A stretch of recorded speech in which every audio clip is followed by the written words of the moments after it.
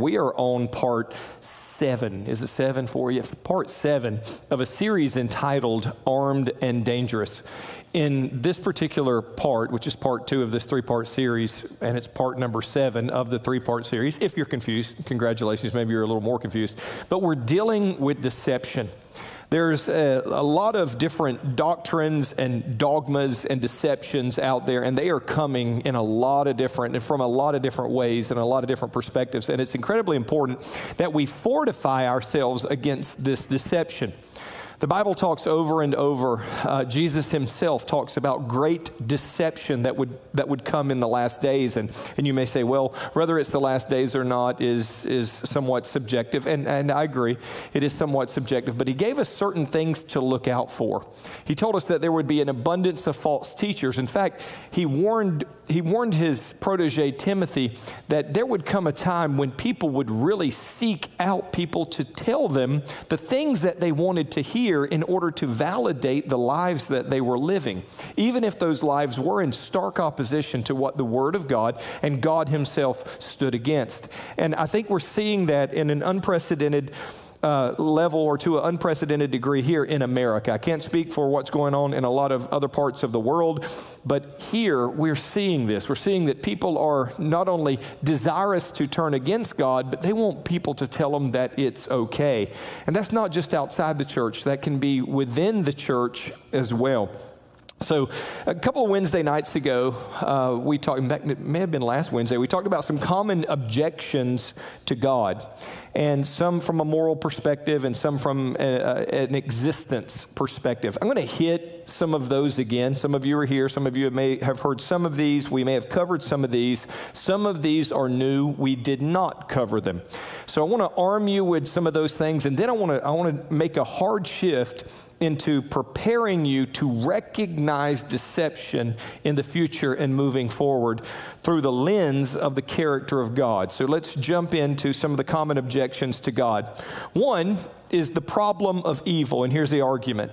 If God is all powerful, all knowing, and all good, why does evil exist? The presence of suffering and evil in the world is often cited as inconsistent with the concept of a benevolent and omnipotent deity. Uh, you've probably heard this. Maybe many of you, many of you actually struggled through answering this question. I think it's an incredibly important question to answer, but I think it's pretty simple. And I, I don't, I don't want to, I don't want to trivialize this because it is a very serious issue and it's a very serious question. But I think that I can sum it up very succinctly by saying God gave Adam real authority, and he relinquished that real authority, and there were real consequences as a result of that. See, if, if God is truly sovereign, then God can grant power and authority to whoever, whomever he desires. And that's exactly what he said. He said, I'm going to put you here to rule over creation in my stead. Man created in essence, or uh, man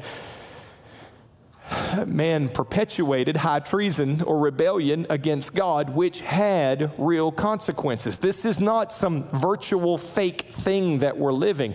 God gave man real opportunity and real responsibility, and as a result of that, there are real consequences to our behavior. I'm going to touch on this in a few moments. People who ask this question often leave out the element of humanity. God can be all good, He can be uh, uh omnipotent, He can be all powerful. It doesn't mean that He won't deal with all of the evil. And that's part of what we herald in the message of the gospel of Jesus Christ that the day is coming when all of the evil, evil and the perversion and the destruction and the wickedness that is caused by sin will be judged. Christ is the escape, the opportunity, the mercy, the expression of mercy to God, from God to humanity to escape the judgment that we all deserve. There will be a real reckoning for real rebellion. The question is this where will you be on that day? Second one, scientific explanations. If you missed part one in this particular series, uh, you know, God and science and some of the other things that we were looking at, here's the argument that naturalistic explanations of the universe's origin the Big Bang Theory, evolution provide no empirical evidence or necessity for a divine creator. Now, as we talked about before, science offers a description of, not an explanation of things. When you look at, at, at, gravity, when you look at the natural laws, they are descriptions of things that are, not explanations of why those things are or how they came about. When we talk about the Big Bang and we talk about the theory of evolution, they are just that. They are theories, and people will argue that. But as science grows and explanations and, and, and knowledge is increased, those theories are becoming obviously and, and evidently inferior to reality. There are no material answers provided for many of the greatest issues of humanity. None whatsoever. And you say, what are those greatest issues? Origin, morality, purpose, and destiny. There are no material answers for those questions. Even the questions themselves that are real to every single person sitting in here, those questions themselves are non material. So when we try to relegate everything to materialism, we run into some huge problems from the onset. Science offers information, and people extrapolate theory from the data. Data changes, and as a result, theories change, but often at a much slower rate than the data. When a, a, culture or a people or scientists or worldviews are adopted, it's really hard to change those, and we've talked about that in, in detail over, over time. People will believe something regardless of what science or, or one aspect or, or biology or morality or the Bible says. Very often, that thing that we learn and we, we cement in our thinking, we are so reluctant to change. That's not just true in the scientific world, it's also true in the church, it's also true in, in Christianity. We're going to come back to that in just a few moments conflicting religions. And here's the argument the existence of numerous religions with conflicting doctrines about God suggests that human understanding of God is culturally constructed rather than based on divine truth. This is one that uh, I have heard often, um, and exactly the, the problem, this is exactly what the real problem is if you kind of think about it. Cultural reconstruction of God leads to deception concerning God. So, in one essence, the, the, the question or the accusation is absolutely right.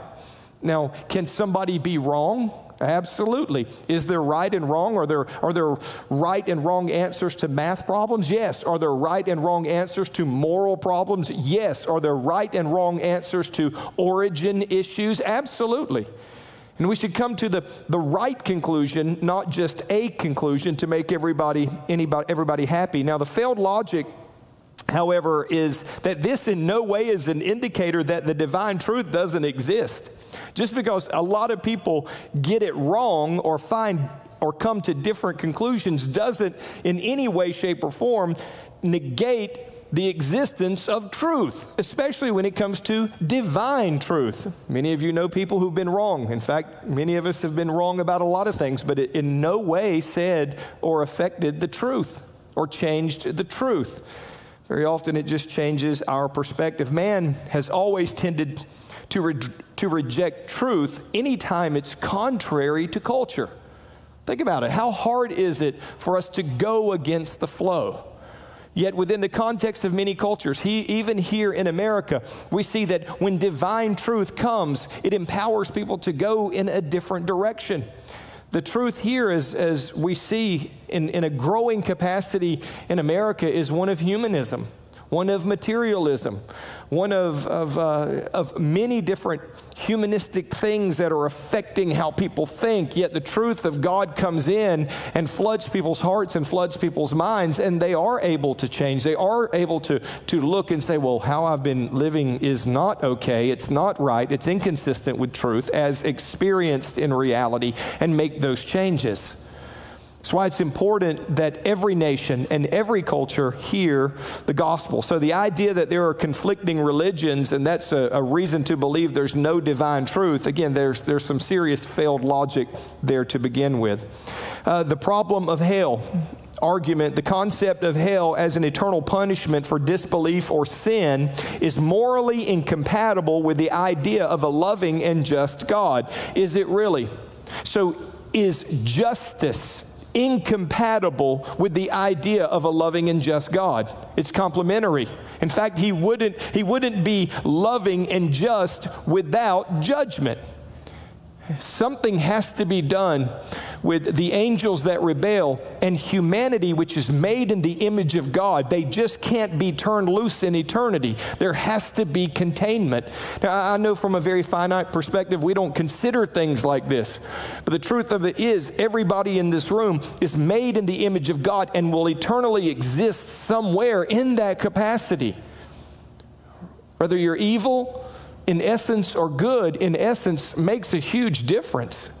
God can't just turn wicked humanity loose into eternity to run roughshod. Talk about releasing terrorists. he would not be loving or just if wickedness was not punished. Our ignorance of the destructive nature of sinful behavior is evidence to how far we've fallen, but I want you to consider this. Think about it. Every, every horrible thing, every horrible accusation that, that people make about God and, and, about the existence of hell and judgment when it comes to bad stuff. Think, think about it for just a moment. All of the horrible things that people use as an argument against the existence of a loving God are the effects of sin that results in the eternal justice which they turn and condemn. Did you hear that? The very things they say there can't be a God who, who exists because there is evil, turn again and say there can't be a God that's truly loving and caring because he punishes evil, which is the result of that, that sin or that rebellion. You know, I hear I say this to people all the time. You understand, God doesn't tell you not to sin because He doesn't want you to have any fun. There is a destructive element to sin in our lives and in the lives of those around us. War, and, and, and famine. And a lot of times, the, the, the, egregious things that we see, the crimes that are committed, they're all motivated from the sin of selfishness, which is doing things our way as opposed to doing things God's way. And then we turn, as the proverb says, we live a life that is contrary to God and then blame God for the consequences. That's what humanity does. And, and why? In an attempt to alleviate our conscience from accountability divine hiddenness. And this is the argument. If God exists, why isn't God's presence more obvious? The hiddenness of God is puzzling if God desires a relationship with humans. You ever heard anybody say that? Hey, look, if God is real, He can just show Himself to me, and if He shows Himself to me, I would believe Him. I would fall down on, on my face and I would worship Him. And we know that's not true. God revealed Himself several times historically to humanity, and that generally was not the corporate response of humanity. In fact, when God showed himself to humanity on Mount Sinai, humanity said, No, we're going the other way. Moses, you go deal with this guy. We can't, we can't deal with him. We don't, we don't want anything to do with him. You know, I want you to think about this. Even the Israelites who saw the power of God and were delivered from Egypt, do you know what they did throughout the totality of their 40 years in the, in the wilderness? They worshiped false gods they created false idols. They worshiped the starry hosts or the heavenly hosts, as it's described. Think about that. They saw the majesty and the glory and the revelation of God Himself, yet their, their wicked hearts said, We don't want that. That is one of the major problems with humanity. Christ was not hidden, He was and is on full display. People rejected him then, attributing his power to what? To sorcery and to the devil himself. And times haven't changed very much, have they? Our existence is evidence enough, according to the book of Romans, because of the ability of reason that we have been given to condemn us for rejecting God and the reality of God. Creation logically re- requires a creator. And we've been given the ability to reason, made in the image of God. Rejection of truth always, always leads to foolish speculation.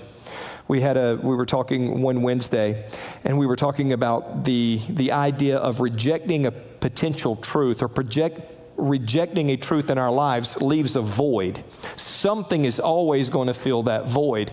And biblically, we understand that it is generally something that's not true that fills that, that void that is left when we reject truth, and it becomes detrimental in reality. Now, there are a lot of false teachings about Jesus held by a lot of different religions. Every major religion does something with Jesus. Okay, they come to a conclusion other than what and who he said he was. That is the problem with other religions.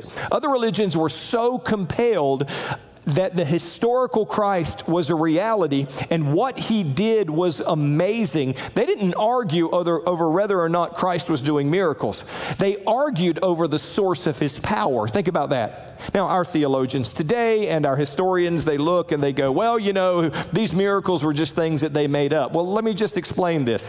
The people who were there didn't believe that. The generations that followed didn't believe that. Other religions didn't believe that. Even the Jewish people who held every accusation against Christ being the Christ, they never said he didn't do the miracles as were described in the Bible. You know what they said? They said he did it through a nefarious power. You remember the story, and Jesus made it very clear. He said, Okay, you say that I cast out devils through the prince of the devils. Well, who do your sons cast them out by? Because we claim the same Father, is what he was saying. It's, it's, it's, it's a real Christ who was not hiding himself, who has revealed him, himself to humanity, and humanity has said, We prefer darkness over light. That is the rebellion from which we're called to repent to avoid the judgment. Now, common false teachings about, about Jesus. Now, listen, I'm, I'm not I, I, I am kind of, but I'm not trying to pick on any particular one. It's just there's a very prevalent uh, ideology concerning the person of Jesus Christ. If you'll remember on the first part of this series two weeks ago, we talked about the evangelical church and their per- perception of who Christ was. Many thought that Jesus was the first and greatest of creation, and, there, and that becomes very, very problematic um, many people will call Jesus the Son of God, but when they use that terminology, they mean something very, very different than the Christian context. So I'm going to take what the Jehovah's Witnesses believe, and there's what's called there's there, there's um, when we look at different religions, this is a sect within Christianity. I want to address this because they hold a particular view concerning Christ that is consistent with a lot of the deception in the church and other religions. So there's a commonality, and that's why I'm doing this, so I'm not necessarily picking on them. But they believe that Jesus is God's Son, but not God a rejection of either the humanity or divinity of Jesus is something that is actually very common and it is very subtle. Guys, this is where you really need to be armed. You really need to understand what you're dealing with. Jesus is God's Son, but he is not God. Jehovah's Witnesses believe that Jesus Christ is the Son of God, but they strongly reject the doctrine of the Trinity. They do not believe that Jesus is Almighty God or equal to the Father. Okay, I'm going to move on and give you some, some other information, and then we're going to come, then I'm going to show you some things. They believe that Jesus is a created being, the first and greatest creation of Jehovah God. And as, as we learned again, many people believe this, many people ascribe to this. Why? Why do people, and I want you to ask yourself, what do you believe about Jesus? Because we understand that Jesus and what we do with him is the number one thing it's, it's, it's, it's, in fact, the greatest thing because all of your hope is in Him. You don't want to get this wrong. You want to get this right. Christ said in the last days, many will come and say, I am the Christ, and they will deceive a lot of, a lot of people. How about this one? Jesus existed in heaven before his earthly life as Michael the archangel. Again, this is what they believe. Uh, they believe and they teach that he is the Word referred to in John 1 1, and again that he was God's first creation. According to their belief, Michael was used by God to create all other things, but is not co eternal or co equal with God. So they believe that Jesus existed before his manifestation here on the earth but he existed as an angel, the archangel Michael. Now, something that you should know Jehovah's Witnesses were not the first to come up with this, and many folks have been tripped up by this, and we really need to talk about it. There was a man named Arius, and what I want to nail down for you is the first time, the first formal challenge to the doctrine of Christ's divinity, when it happened, and what that kind of looks like, and why it's, it's such an important issue. Arius, who, who lived from 256 to 336 AD, was the first formal challenger to the deity of Christ, but that was not until almost 300 years after the crucifixion. The deity of Christ the godness of Christ was a given according to the church, uh, church fathers. It was, it was something that because of what John wrote, I heard, I heard one historian say, well, John, when he said in the beginning was the Word, the Word was with God, and the Word was God, the, the Word became flesh and dwelt among men, he couldn't have been talking about the deity of Christ because the deity of Christ didn't come along until 300 years later. Well, here's a problem. The deity of Christ was being written about by John, who was face down on the boat worshiping Christ when he got through calming the storm. You remember that? So, so the idea of Christ being God, when they said, What manner of man is this? This is not something that was new. In fact, John was laying it out very clearly and very succinctly. Christ was worshiped as God in the flesh throughout church history to that point as we noted a few weeks back, this was even acknowledged by the extra biblical writers. They said that there's a group of Christians and they come, or this group, this sect, and they come and they worship this man as God, singing hymns, meeting on the first day of the week, and then going away to share a meager meal, a meager meal. So that was the communion meal, and it was uh, written by somebody who, again, was kind of observing from the outside. Now, Arianism taught that the Son of God, Jesus Christ, was created by God the Father and therefore was not co equal with the Father. This was the Council of Nicaea in 325. They convened this council to settle this issue because he was teaching something contrary to unsettle the issue. Again, over 300 years after the crucifixion. The council, and you need to understand this, the council ultimately rejected Arius' teaching and affirmed the deity of Christ. Why?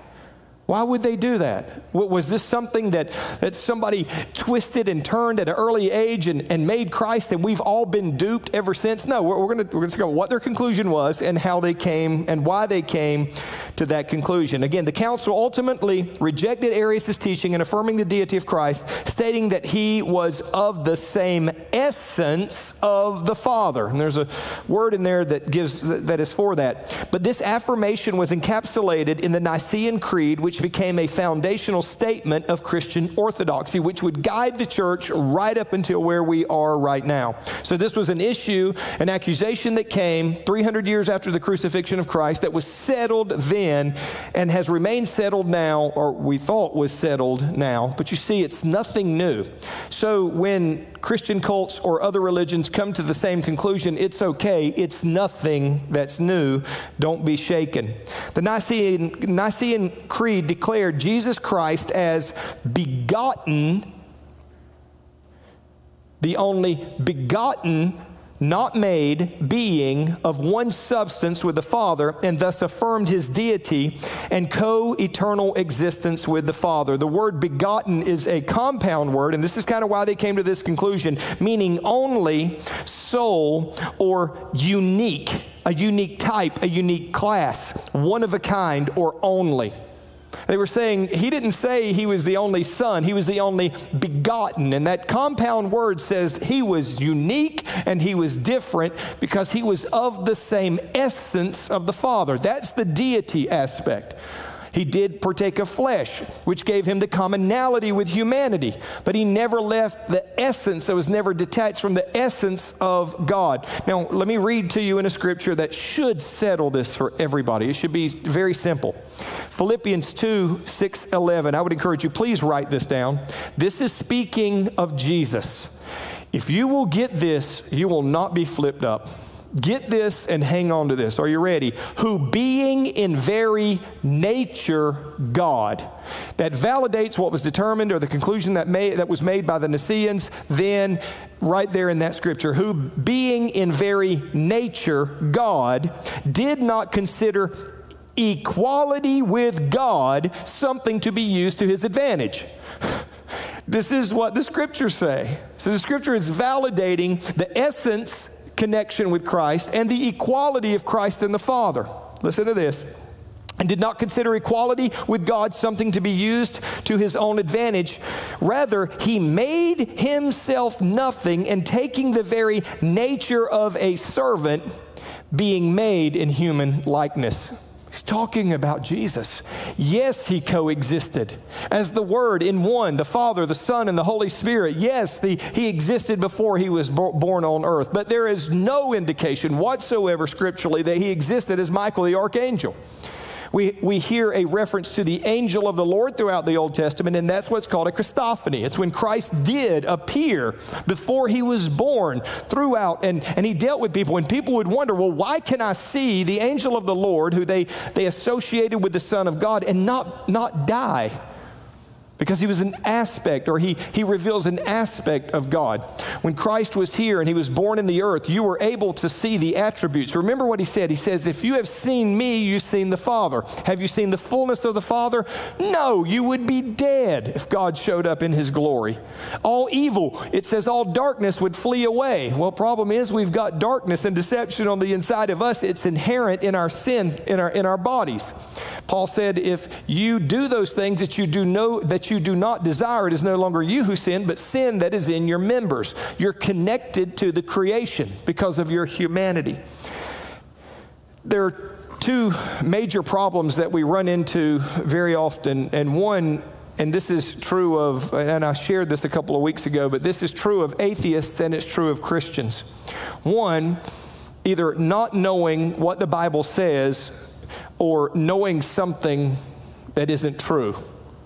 And I will tell you, I am, I am not sure which one is the worst. I'm not sure which is most detrimental to, to the culture and to, uh, to us as believers. Is it, is it not knowing my people perish for lack of knowledge, or is it being deceived and, and really believing something that's just not true?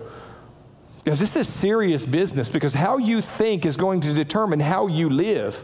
And when it comes to the person of Christ, this is huge. This is important.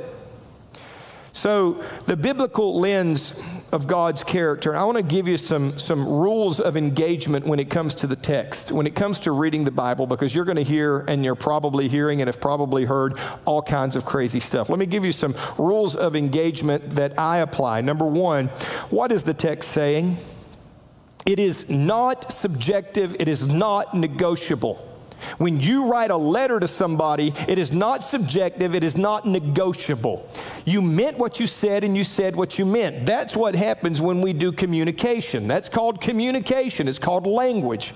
Listen, God said what He meant and He meant what He said. Do foolish men twist it and turn it into something it's not? Absolutely. Peter said this about the writings of Paul, but he in no way insinuated that it was negotiable in any way, shape, or form, or that it was untrue. He just said untrue unlearned people twist it for their own purposes and their own uses. And that's what we see. Don't let smart people who use big words talk you out of very simple, obvious truths that are in the Word of God, okay? But what is it saying? It's not subjective. Number two, or uh, ask this ask, what is the context?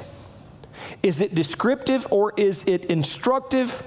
Is it conditional and is it universal? Did you hear that? When I read the Word of God, I want to ask these questions. What is the context of what He's saying? Is it descriptive or is it instructive? What happens is God is describing something that's horribly wrong, and people will say, well, you know what? God's validating that. No, He's not. He's telling us about that and often tells us the result of adopting that behavior. It's not instructive. So don't let people cherry pick you into, into deception. Is it descriptive or instructive? Is it conditional? Whosoever believes, is that conditional? Absolutely, it's conditional. If you hear the truth, do you have the option to reject the truth? If you hear sound teaching, do you have the option rather to reject it or receive it? God thought so. He said, All day long I have extended my hand. I've told you the truth, and you're a stiff necked people, and you've rejected me. Therefore, judgment is coming because of that rejection. Is it subjective to our receiving it? Absolutely. Is it conditional? How about this one? Is it universal? Is he talking in the context about an isolated incident with a specific people, or is it something that's universal and that you can, you can build a universal doctrine off of? Does it apply to everyone? Serious questions. The implication how and to whom does it apply? Are there implications being placed upon surrounding texts or circumstances? What are the implications of the truth or the text that I'm looking at? What are the applications of it? How do I apply it to my life? Does it apply to me? What adjustments need to be made in my life, my thinking, my attitude, my behavior? How do I live the particular adjustment that the Word of God's calling me to make? So that's called repentance. How do I live out this repentance? You say, well, where do you get that from? John said, You go and you repent and then show fruit of your repentance. That was his expectation for the Pharisees. He said, You brood of vipers, you're coming here. Now I'm telling you to change, to change your minds, and then show evidence of the change of your mind and your heart through your behavior. That was expectation of John the Baptist concerning the Pharisees and the teachers of that day should be an expectation of us as well. So let's look at some of the unchanging characteristics of God, and these will become the interpretive lens of God's Word, allowing us to develop and recognize healthy doctrine. A distorted view of God will always lead you to distorted doctrines or conclusions concerning Him. That is huge. If you don't know who and how he is, you will always come to erroneous conclusions. 1 John 4 9 and 7 says, Dear friends, let us love one another, for love comes from God. Everyone who loves has been born of God and knows God. Whoever does not love does not know God because God is love. Here's a problem. When you look at love, you have to look at God's definition of love. What is love? Love, 1 Corinthians 13 gives us an exhaustive list of the attributes of love. That is our description of love, not the cultural changes and the cultural definitions that are imposed upon us. Love now in our culture is tolerance. Love is loving you no matter what crazy thing you want to be or you want to do, even if, even if it's to your detriment. Love never rejoices at unrighteousness. Do, do you understand? So if you say you love somebody and you join them or validate their unrighteousness, you are not living a biblical love. I didn't make that up. This 1 Corinthians 13. This is how God showed his love among us. He sent his one and only, that's that word we were looking at early, unique son into the world that we might live through him. God is love. God has demonstrated his love, and God expects us to recognize and show godly love. That's what that's telling us. This is huge. These are the characteristics of God. So when you see something contrary to those characteristics as described, as, as outlined in 1 Corinthians 13, that are consistent with God and His love throughout the Bible, you'll know that something's wrong. Psalms 50 and 6 says, And the heavens proclaim His righteousness for he is a God of justice. So when you see hell, you understand. Hell was not created for humanity. If you're a human in hell, you're a trespasser because you've rejected the mercy of God, which has been extended to all humanity. Nobody, everybody in hell had an option or will have an option on the front end. God is righteous. Don't be fooled. God is not mocked. He is a God of justice. Psalms 116, 5 says, The Lord is gracious and he is righteous and he is full of compassion. These attributes are huge because when you hear a doctrine inconsistent with these attributes, it should raise a red flag very, very quickly. Not one of them, any, not all of them, any of them. So we see that God is righteous, God is just, God is gracious, and God is compassionate. Very often the accusations made against God are contrary to every one of those. Well, if God was loving, if God was righteous, all of these questions that people have are really often accusations against God and his character. That's the order of behavior of humanity. Psalms 18:30. As for God, his way is perfect. That means every other way, guess what? It's not. I used to work with a guy, and he would always say it. He would always say this. Well, you can do it that way. His implication was you can do it that way. You just might not be happy with the result. Okay. As for God, His way is perfect. The Lord's word is flawless. He shields all who takes who, who take refuge in Him. You know, it was funny. I heard uh, a theo, not a theologian, a, a historian a, uh, uh, a scholar of the Bible talk about nowhere does the word say that the word is not flawless. And I'm sure he's got some really, really smart way of, of making that not say what it says. I'm just telling you, okay? Uh, Psalms 68 and 20, he can argue with the psalmist. Psalm 68 and 20, our God is a God who saves from the sovereign Lord comes escape from death. Uh, anybody else got any other escape from death other than through the so- sovereign Lord? I'd like to know it. People have been looking for it for a long time. So his ways are perfect, his words are flawless, and God is sovereign. Numbers 23 19. God is not human that he should lie. He's not a human being that he should change his mind. This tells us God is wholly different in nature than humanity. He's wholly different in his nature than we are as humans. He is holy and he is right and he is just. We have, we have br- very different, very broken tendencies if we're honest. How about this one, 2 Peter 3 and 9? The Lord is not slow in keeping his promise, as some understand slow, slowness. Instead, he is patient with you, not wanting anyone to perish, but everyone to come to repentance. And that is the very accusation. Everybody, and in fact, the Bible tells us that this is the accusation that they will be using at the end times against God. They will say, Well, you've been saying he's coming back forever. Every time something happens, you Christians start going, Hey, Jesus is coming back, and it's the end. That, that, you know, which they have or we have. Every time there's a world war, man, it's the end of the world, and whoever started it's the Antichrist. Do your history. That's what the church has always said. That's because very often we, we get our doctrine kind of confused and we try to impose culture on it. That's not the way it works. It should impose its culture on us, but that's a different story. But anyway, he is patient, he is intentional, he is merciful, and he's often misunderstood. And that's what we're dealing with. How do we help that? What do we do with that? One, we understand Him through His Word, and we make sure that we know Him through relationship. Who do you say that Jesus is? Who and how do you see God?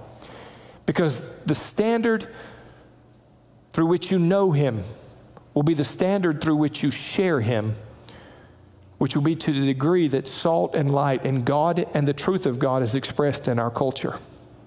Stand if you're able. This is, this is important on a, on a lot of different levels. Everybody in here has an idea of God, who He is, and how He is. Everybody in here has an idea of how you will relate to Him. In fact, I'm going to say this. Think about this for just a moment. Every one of you right now have an idea of what it will look like on Judgment Day concerning you. You, in your heart, know right now, your heart is telling you, if you stood before God at this very moment, if Jesus is the way and the truth and the life that he, that he said he was, and there is no other way, what is your relationship to him right now in this moment? Because where you are right now in this moment has weight of where and how you will spend eternity. You will exist somewhere forever. It's one thing to know about Christ, it's one thing to have good theology of Christ. But do you know Jesus? And more importantly, does he know you? Here's what I can tell you God so loved the world that he gave his only begotten Son so that whoever would believe, whoever would cast their hope, whoever would, would reach for him and ask with an honest heart for the help and hope that only he could provide, he would save them. Where are you right now in this moment? Does your life and your mind agree with who the Bible says that Jesus is, or have you rejected him? Have you said yes to what he has said that he alone provides, or have you rejected it? I'm here to tell you this. You have the choice. You can accept and rely and grasp and run for everything that God has given you in the person of Jesus Christ, or you can reject it. But there are consequences. I don't care what anybody tells you. Don't let some silver silver tongued orator talk you out of the reality when Jesus said, I am the way, I am the truth, I am the life. There is no way to the Father except through me. If you're not in Christ, you're in trouble. Christ offers us hope and help today. If you're at a place where you say, I don't know this Christ, I'm telling you, if you don't know him, you do not have eternal life. I'm telling you this because I love you and I care about you, and this is the most important thing that there is. If you don't know in your heart that you know Him and He knows you, that can change today if you will repent and cry out with all of your heart, God save me. In the name of Jesus, through the work of what He has done, He will hear and He will save you. And He will create something that has never existed on the inside of you. Old things will pass away and everything will become new. His essence, through the power of His Spirit, will be joined with yours, and your very want to. Her. The very things that we love that are damnable become detestable. If you don't know Him and you know that He doesn't know you, and you want to change that today, I'm going to ask you to raise your hand. Raise them high and don't be ashamed.